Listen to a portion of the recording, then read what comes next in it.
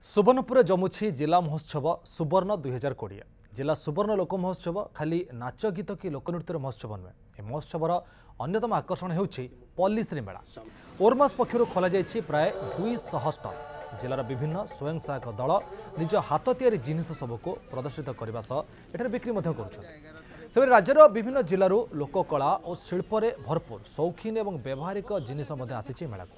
ମାଟି କାଠଠୁ ଆରମ୍ଭ କରି ବାଉଁଶ କଂସା ପିତ୍ତଳ ଲୁହା ଆଦିର ସୌଖିନ ଓ ବ୍ୟବହାରିକ ଜିନିଷ କିଣାବିକାର ସୃଷ୍ଟି ସୁଯୋଗ ସୃଷ୍ଟି କରୁଛି ଏହି ଉତ୍ସବ।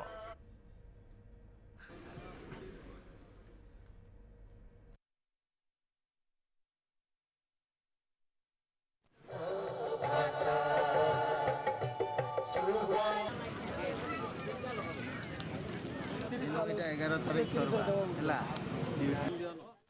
आईना पॉलिसी मेला लगसी जेने कि बहुत सा बहुत आड़ लोग मैंने आसन पंजाब हरियाणा गुजरात सब सब सामान मैंने आसी आउ लोग इना बहुत साइड साइड रू आसन गाँ गली रू तीन चार दिन ज़बरदस्त मेला आसी सामान फामान घिनसन समस्ते आउ घर के किनाकुड़ी नसन जेनता कि सोफा जेन जेन सामान मार्केट नहीं मिलवा से से सामान मैंने मार्केट का आसी लोग मैंने बहुत खुशी रे घिनागुनी कर फर्नीचर का आइटम है सहारनपुर का यूपी से आए हम लोग हर साल आते हैं यहाँ पे दो तीन साल हो गया आ रहे हैं और काम अच्छा होता है अच्छा रिस्पॉन्स हो रहा है और सोनपुरी पब्लिक हमारे सामान को बहुत लाइक करती है बहुत पसंद करती है और अभी भी सेल अच्छा है बहुत अच्छा सेल हो रहा है ये पॉलिश्री मेला चल रहा है और यहाँ पे आए हम लोग आए हुए हैं हर साल ही आते हैं अब देखते हैं आप सोनपुरी पब्लिक देखती है ଜଗତସିଂହପୁରରୁ ଆସିଛୁ ପାମ୍ପଡ଼ ମସଲା ଆଇଟମ୍ ଆଣିଛୁ ଆଉ ପଲିଶ୍ରୀ ମେଳା ଭଲ ଚାଲିଛି ବି- ବିକ୍ରି ବି ଭଲ ଚାଲିଛି ହଁ, ଆମର ଚାରିଟା ଗ୍ରୁପ୍ ମିଶିକି ପାମ୍ପଡ଼ ଆଇଟମ୍ଟା ତିଆରି କରୁଛୁ ପାମ୍ପଡ଼ ଉମ୍, ଭଲ ବିକ୍ରି ହେଉଛି ମସଲା ମସଲି ବି ବିକ୍ରି ହେଉଛି।